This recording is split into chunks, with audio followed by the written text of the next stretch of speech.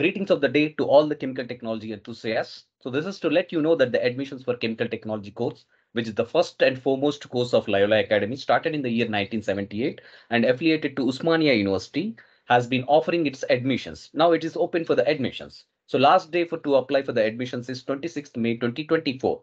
So you will be learning maths, physics, chemistry, and com in combination with the chemical engineering courses of diploma level so which leads you to have a multiple career opportunities including which will lead you to have, have a multiple eligibilities in the pg level courses. And you are also eligible for all sort of pg level studies.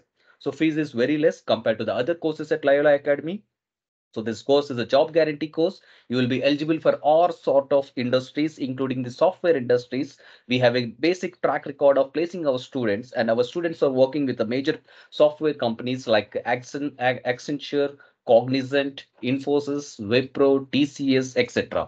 So apart from all these software jobs, you are eligible for all sort of chemical industries, national and international industries. So our departmental faculty is highly qualified uh, who will be having a PhDs and MPhils from various premier institutes like IITs, NITs, IICT, government uh, universities, state and central government universities. Then, so what's stopping you to apply for this program?